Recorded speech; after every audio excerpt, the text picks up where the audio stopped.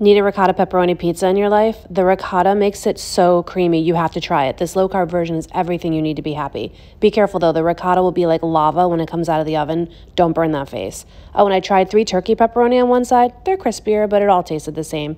Check out the ricotta post for two others and this recipe at caseaketo.com.